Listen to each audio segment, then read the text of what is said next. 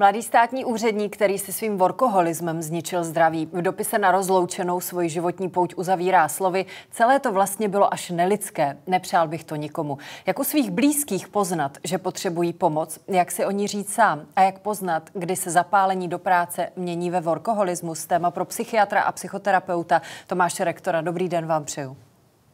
Dobrý den. Uvedla jsem jeden osud, který skončil tragicky. Odhaduje se, že závislostí na práci trpí 6 až 20% populace. Žijeme tedy v době workoholismu? Uh, víte co, já si myslím, že o workoholismu se naštěstí mluví dřív než v minulosti. Já si myslím, že to, co se v minulosti bralo jako ne norma, ale jako dokonce žádoucí kýžený stav, tak teď to vnímáme, že to je problém a že by se s tím mělo nějak zacházet. Protože dřív skutečně kor v devadesátkách eh, se bral za vzor člověk, člověk, který opravdu pracuje od nevidím do nevidím. Lékaři, právníci, manažeři v práci téměř žili. Doufám, že to už se děje méně, nebo vím, že se to děje méně. A je to znát i ve vaší, orga, eh, ve vaší ordinaci, pardon, že workoholiků přibývá? Uh, no, jak říkám, já nevím, jestli jich přibývá. Já doufám, že jich ve skutečnosti ubývá, protože se o tom skutečně už více mluví. Uh, lidé častěji chodí s něčím, o čem už začínají říkat, že to je vyhoření. Lidé nechodí téměř nikdy s workoholismem. Stejně jako lidé nechodí s alkoholismem. Pokud člověk má nějakou závislost, tak tu závislost se většinou snaží bagatelizovat a většinou přijde, až když ho dotlačí třeba zdravotní stav, což u toho workoholismu přijde mnohem později než u toho alkoholismu, a nebo když ho dotlačí okolí, což taky u toho workoholismu je obtížnější.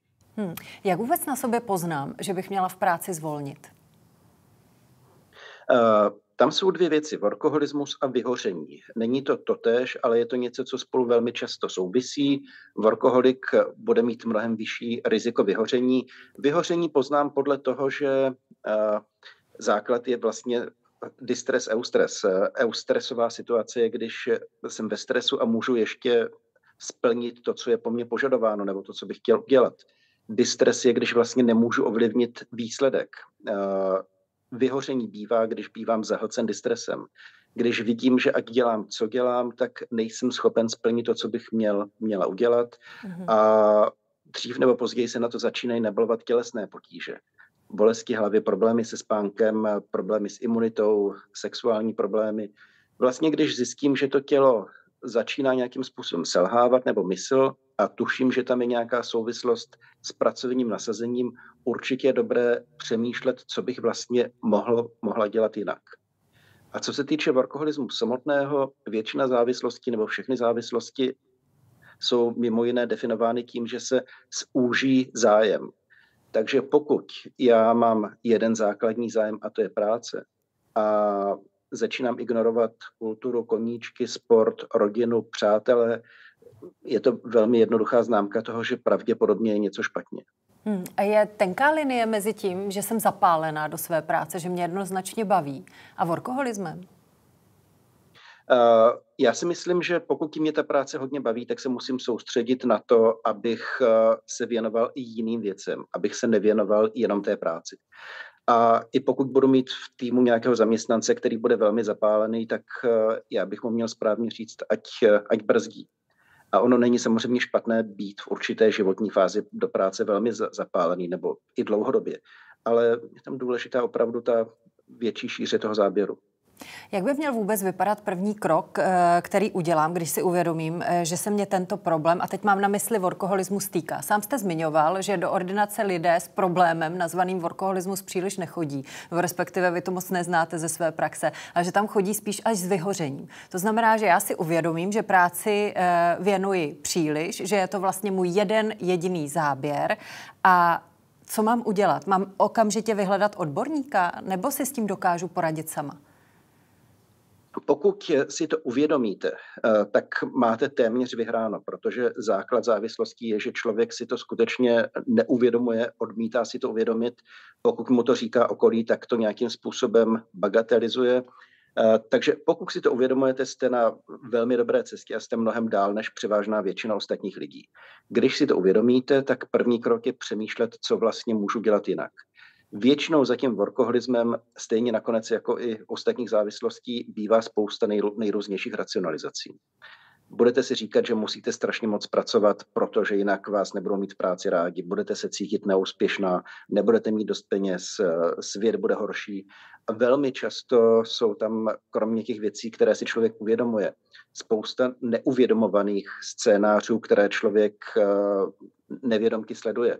Takové to, že člověk od malička má pocit, že vlastně bude milován jenom za zásluhy. To znamená, čím víc budu pracovat, tím budu hodnotnější člověk, tím budu tím budu i milovanější. Pokud člověku se daří tady toto rozklíčovat, pak bývá cesta o tom, jak to zpomalit. Ale velmi často člověk potřebuje, potřebuje nějaký typ odborné pomoci, potřebuje si s někým o tom promluvit, s někým nezávislým, s terapeutem, který mu právě pomáhá dešifrovat tady tato schémata. Mm-hmm. My jsme probrali vlastně tu ještě lepší variantu, to znamená, že já sama si uvědomím, že ten problém mám.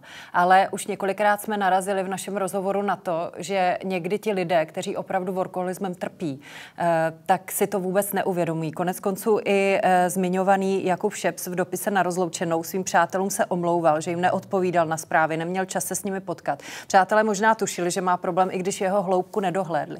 To znamená, že pokud v nějakém eh, svém okolí vidím člověk, člověka, který by mi pasoval do této škatulky. Co mám udělat? Jak ho já můžu přesvědčit k tomu, že opravdu má problém, protože předpokládám, že na začátku to odmítat bude? Začít se s ním o tom bavit, eh, začít skutečně dialog a netvářit se, že já jsem expert, já vím, že ten druhý je nepochybně workoholik, eh, ale zkusit si s ním promluvit o tom, jak vlastně žije a jestli má pocit, že je takto v životě spokojený a jestli vlastně v pořádku, že ten svět je takhle, takhle, takhle úzký. Pokud je to někoho, koho znám dlouho, pokud je to bývalý spolužák, kamarád a skutečně vím, že to byl člověk mnoha zájmu a teď jenom chodí do práce a vypadá sedřeně, eh, můžu s ním začít mluvit o tom, jestli skutečně eh, je, jestli mu vyhovuje, že obětoval všechny ostatní aspekty, aspekty života. Musím počítat s tím, že nejspíš mi ten člověk nejdřív odmítne. Zas, když to srovnám s tím alkoholikem, alkoholik vám taky na začátku řekne, já mám všechno pod kontrolou, piju piju kolik chci, všechno je v pořádku, eh, ale pokud se mně to podaří a pokud eh, budu vstřícný, tak eh, to zase, zase je semínko a ten člověk o tom v budoucnu bude snad přemýšlet.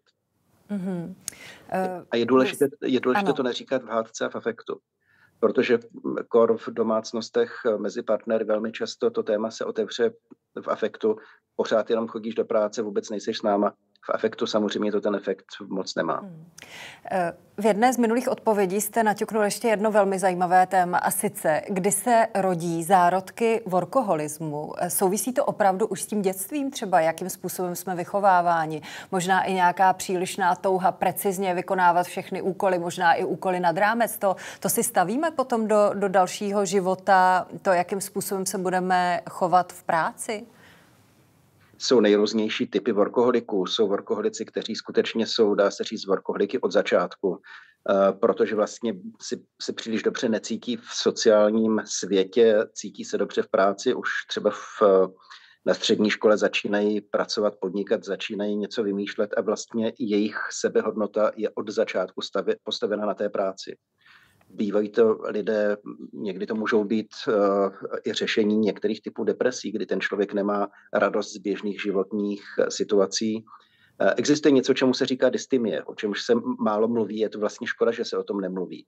Dystimie je dlouhodobá lehká deprese, kdy toho člověka právě nepotěší, když jde na procházku, když si jde s někým popovídat, když někoho vezme za ruku, ale vlastně tím, že necítí ten dobrý prožitek, eh, tak vlastně on hledá naplnění tam, kde ví, že by to mělo být v pořádku.